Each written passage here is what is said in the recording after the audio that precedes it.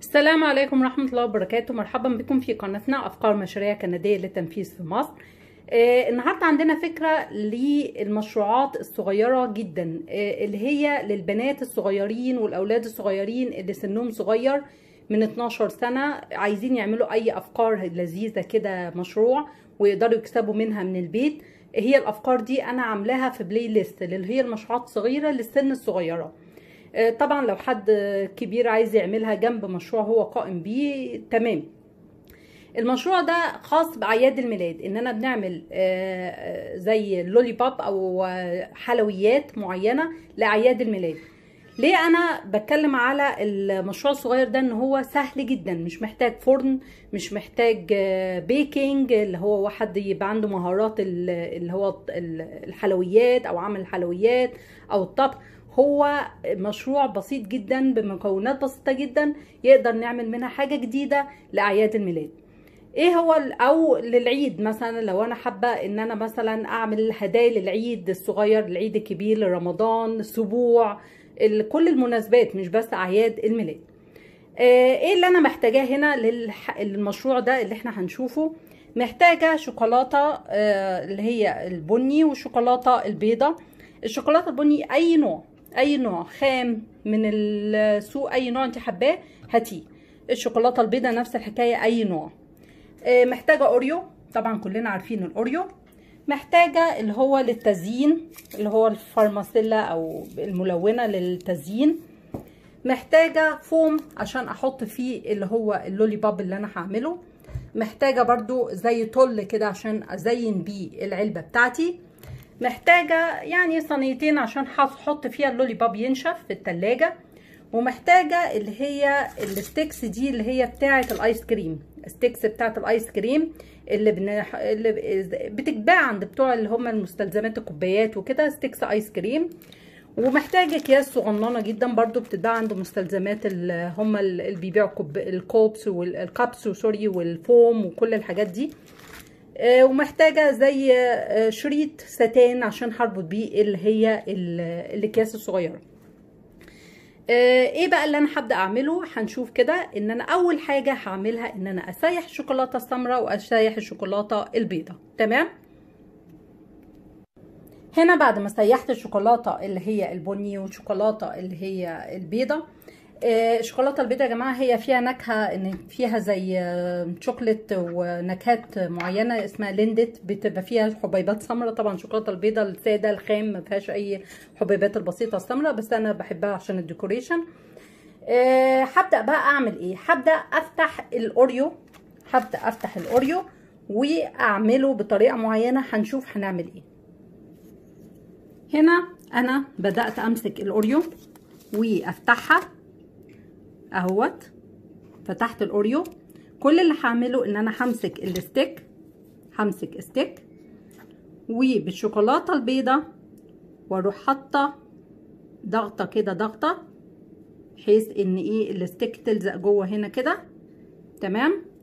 كأن مثلا كأن الشوكولاتة البيضة دي هعملها إنها تربط الايه ال two Oreos مع بعض.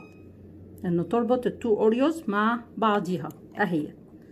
هنعمل واحدة كمان كده عشان تشوفوها. أهو.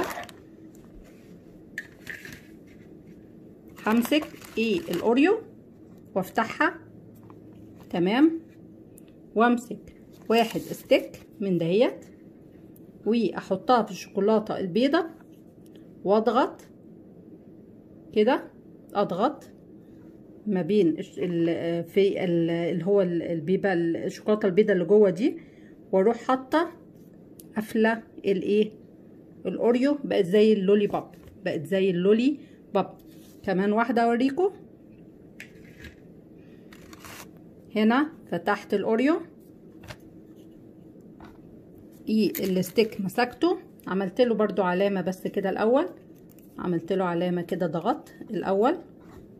تمام. وأروح ماسكة الإيه؟ الشوكولاتة البيضة. وحطاها. تمام. وبعدين أقفل بيه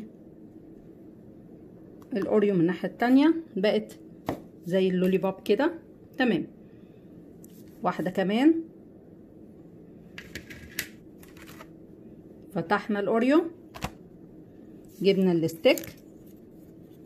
ضغطنا ضغطة بسيطة. أعمل بس مكان. جبت الشوكولات الأبيض. حطيته في النص. قفلت. أسهل من كده مفيش. تمام كده؟ تمام. آدي هنا الأوريو كله بعد ما أنا حطيت ال sticks كلها شايفين؟ كله. مش محتاج إن هو يروح التلاجة هو بينشف طبيعي لأن فيه شوكولات جوه بتخليه يمسك على طول. فأنا مش محتاجه أحطه في التلاجة الفترة دي. أنا محتاجة بقى أكمل وأشوف هعمل إيه معاه. هبدأ أجيبه هنا جنب إيه الشوكولات التانيين. وهبدأ أوريكم الحركة أو الطريقة الجميلة إن أنا إزاي أزين الأوريو ده. هو ده الهدف إزاي أزين الأوريو ده بال sticks دي. هنا هبدأ أزين الأوريو بالشوكولاتة البيضاء إن أنا أجيب معلقة صغيرة مش أدف... مش أحط الأوريو كله جوه لا أجيب معلقة صغيرة وأروح حاطة شوكولاتة ال white chocolate دي من هنا وأحط من الناحية التانية. تمام؟ واصفي كده لو في أي إيه شوكولاتة باينة من هنا أو من هنا. تمام؟ بحيث إن إيه اللون الرئيسي يختفي. اللون الرئيسي اللي هو البراون بتاع الأوريو يختفي.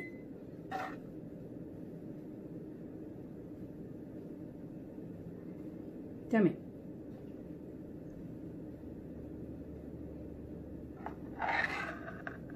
اهيت زي ما إحنا شايفين.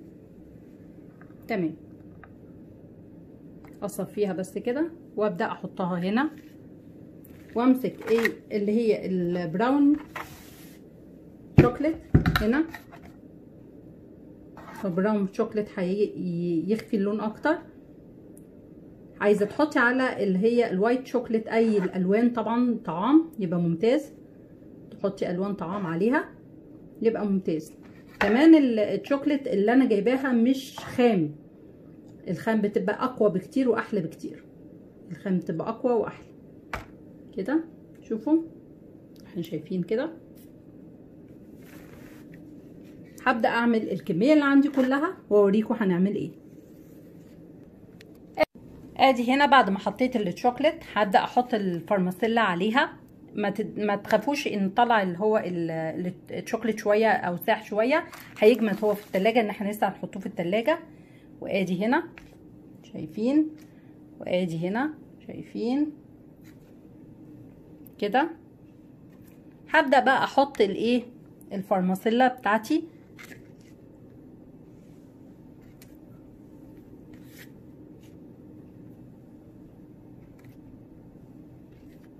عليها.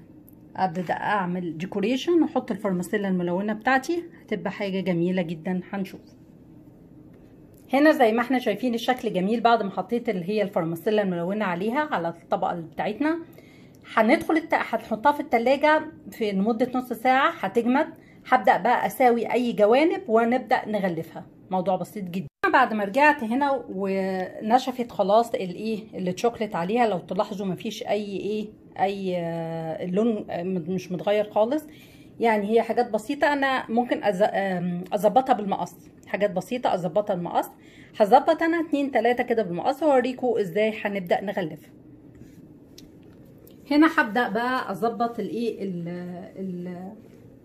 اللي هو اللولي بوب بتاعنا الجديد كده بالمقص عشان ما يكونش فيه أي زوايد. تمام؟ هبدأ بقى أحطه هنا. هنا بقى هبدأ أقص بالمقص إيه؟ اللي هي الزوايد أي زوايد تكون موجودة. ولو في شوكليت مثلا سايح من مكان أبدأ ممكن أملاه من مكان تاني لأن هو بيبقى شوكليت من هنا أو من هنا. فمش هو تمام التمام كده. هنا. تمام. مفيهاش زوايد أو شيء. تمام بحسها إنها لسه آه طرية بسيبها ترجع تاني التلاجة. تمام؟ أهوت مش أي مشكلة. فالكمية عندي الحمد لله ممتازة. أهوت. كل ما حطيت شوكليت أكتر كل ما جمدت ومفيش أي مشاكل في اللوك بتاعها. المنظر بتاعها في منهم بدأ إيه يطلع من مكانه فأنا هسيبهم وأبدأ أصلحهم. بعدين. كده؟ تمام. نبدأ بقى أغلفها. أغلفها. أنا الأكياس اللي, اللي أنا كنت جايباها طلعت صغيرة شوية فأنا جبت كيس تاني كبير. هبدأ بقى أغلف الإيه؟ ال lollipop بتاعي. أنا غلفته كده. وبشكل شيك أبدأ أربطه. طبعا اللي عنده sense أحسن مني في الشياكة آه وال skills بتاعته تكون أحسن مني إن شاء الله في الشياكة لأن إيه؟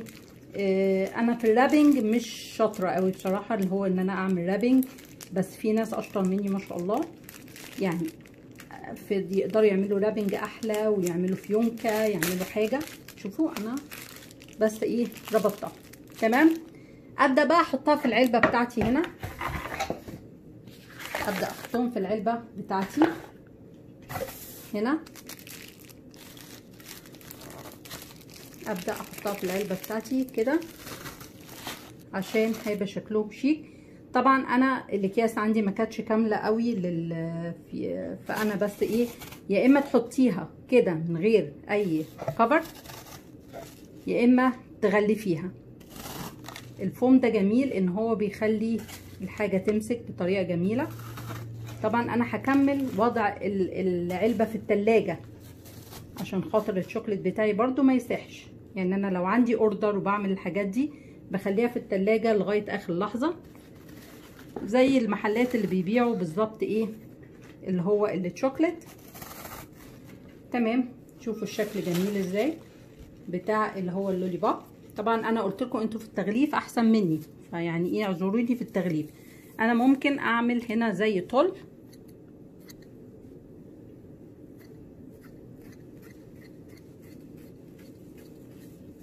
طل بسيط كده عشان أغلف الموضوع ككل بطريقة ظريفة كده. آدي الشكل العام هنا قبل ما أغلفها هحط بقى الطل عليها كده وأنا شلت اللي هي مغلفة لوحدها. لأن أنا بديكي بس الفكرة يا إما تغلفيها آه لوحدهم آه وحدات أو تحطي الطل عليها بس لازم زي ما قلت تتحط في التلاجة. هنا الشكل العام علبة جميلة جدا اتعملت من مكونات بسيطة جدا آه يعني فكرة بسيطة وأتمنى تكون عجبتكم. الحاجات دي جميلة جدا في أعياد الميلاد زي ما قلت وفي السبوع للأطفال وال... وكل المناسبات شم النسيم الحاجات دي جميلة جدا ال wedding الزفاف الحاجات دي جميلة جدا على ال tables فكل بيحب يطلبها وما بيحبش ما بيبقاش عنده وقت إن هو يعمل الحاجات دي حتى لو بسيطة. يعني في ناس بتبقى مشغولة جدا وعندها شغلها وعندها حاجات تانية لازم تعملها فصعب جدا إنها تعملها. فصعب جدا تلاقي وقت تعملها. فدي فرصة للبنات الصغيرة أو الشباب الصغير إنه يعمل حاجة جميلة ويقدر يكسب منها. أو طبعا ست البيت اللي عايزة تفرح أولادها أي فكرة جميلة وجديدة. آه وإحنا داخلين على العيد اهوت كل سنة طيبين إن إحنا نقدر نعمل حاجة لأولادنا. ولو غلفناها تبقى جميلة جدا لأولادنا. أتمنى الفكرة تكون عجبتكم و subscribe وفعل الجرس ودايما معانا في أفكار جديدة والمشروعات مش خاصة بالأكل بس زي ما قلتم مش خاصة بمشروعات التجميل بس عندنا كل المشروعات هنتكلم في كل شيء. هنتكلم في كل حتى ال home made إيه اللي هنقدر نعمله من البيت ونقدر نبيعه بعيد عن الأكل كمان. تابعونا دايما وخليكم معانا و subscribe القناة و like ال our page وإن شاء الله تكونوا معانا دايما. السلام عليكم ورحمة الله وبركاته. ايمان غزال.